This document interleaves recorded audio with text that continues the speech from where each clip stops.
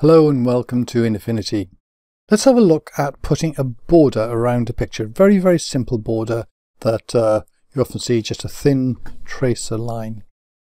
Um, actually a very simple tip to if you want to increase, because you want to make the, the picture sort of bigger, put space around it, you can, you can actually do it with the crop tool. You just go out to however much you want, Probably need to turn the snapping off.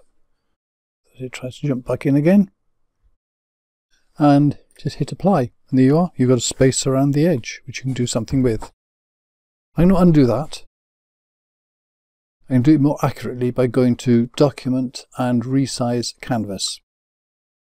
Now what we want to do here is first we want to set the anchor in the middle so it expands in all directions. Secondly, we want to take off the lock here so that it doesn't go in proportion because we want to change these things differently.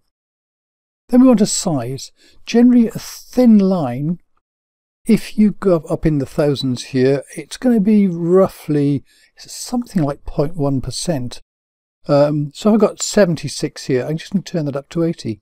Oh, sorry, 77. I'll add 100. Just add 100 there, and add the same amount here. That's why you use a nice simple number to 48 and I say resize. Now I've got a border here. You can change it if I don't like that. I can just do undo and say, oh, maybe I'll put 50 or something like that. But anyway, let's keep this. So it's nice and visible. Question now, there's ways to fill this in. One way is go to Edit and Matte.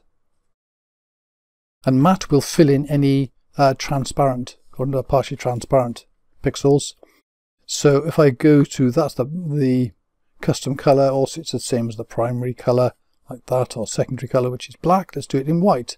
You can see it changes as you do it, so you can even test things out. Yeah, and I could even go to a custom color here, pick a color, say, oh, let's do it in red. See, I can do just change it very, very easily. Uh, another variant, uh, which gives you a bit, a little more non-destructive control. Cancel that is to put a layer underneath here. So what we can do is put in a fill layer. So I go to layer, new fill layer, and I stick this underneath. And that's currently white here, but I can change this to any color I like. And one of the tricks that you can do is to pick a color in the image itself. So there's in, in the image we've got blue, we've got orange and so on. You don't want something that's going to hit the edge quite hard so it'll because it starts to make it sort of bleed into the edge. So I use the just the picker here, go over somewhere. Let's use the try the orange of the that there, and then to get it into the into the color here, I click on that. There we go. And so I've now got a, a contrasting border here which looks similar to this. So there we go. That's a very quick way of doing things. You can try other things like doing inverts and you can uh, do an average blur. That's another trick we go to filters blur average and you use that color or the invert of that color.